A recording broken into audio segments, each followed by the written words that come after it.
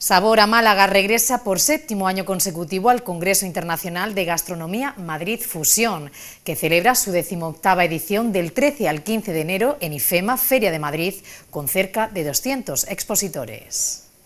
Sabor a Málaga regresa a Madrid Fusión con más empresas y mayor superficie expositiva. Es un escenario excepcional en primer lugar porque damos a conocer la cocina malagueña y en segundo lugar porque ponemos en valor los productos y los productores de Málaga.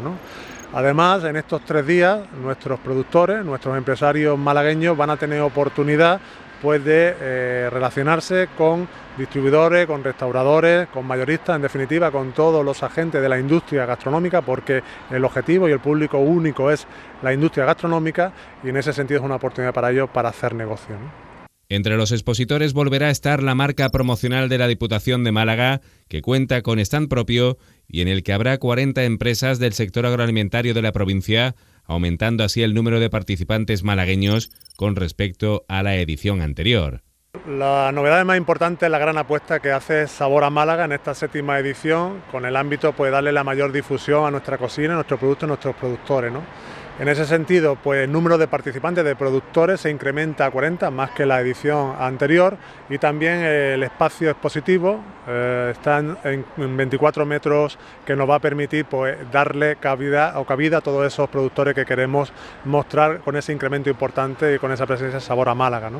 También, como no, pues aprovechar este espacio, este, esta feria Madrid Fusión, para darle a través de las degustaciones, las catas y las demostraciones de la cocina por nuestros productos, sobre todo vino, queso y también el aceite, que son los premiados de Sabor a Málaga en concursos, pues la posibilidad de darlo a conocer, pero también aprovechar ese espacio para otros productos representativos, como pueden ser los embutidos, las pasas, los frutos secos, las tropicales, eh, los panes artesanos, los, los postres elaborados, en definitiva, toda esa gran familia de productos malagueños que a través de esta oportunidad de eh, Madrid Fusión, pues darle a conocer a toda la industria de la gastronomía.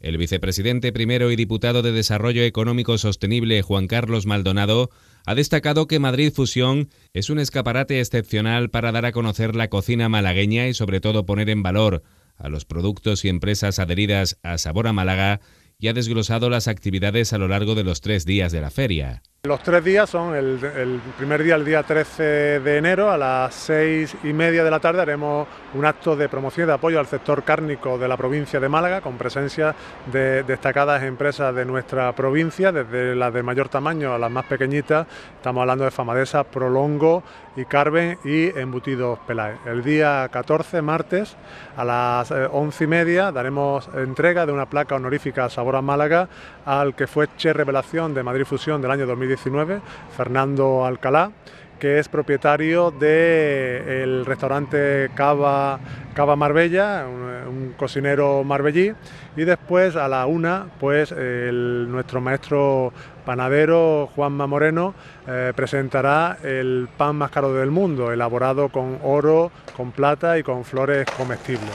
Y el día 15, a las eh, una y media, eh, nuestros chefs estrellas Michelin, eh, Diego Gallegos, eh, José Carlos García y Juanjo Carmona, pues harán un show cookie en ese espacio gastronómico de Madrid Fusión para dar a conocer un menú malagueño, pero sobre todo intentando reinventar el recetario malagueño tradicional y poner en valor, pues evidentemente, nuestra cocina. Eso enlaza también para que a las 3 en el stand de Sabor a Málaga, pues a los visitantes den y ofrezcan pues eh, tapas malagueñas típicas. Sabor a Málaga participa en Madrid Fusión con un stand de 24 metros cuadrados y un programa de actividades paralelas como degustaciones, catas dirigidas y demostraciones de cocina de la mano de los chefs y profesionales colaboradores de la marca.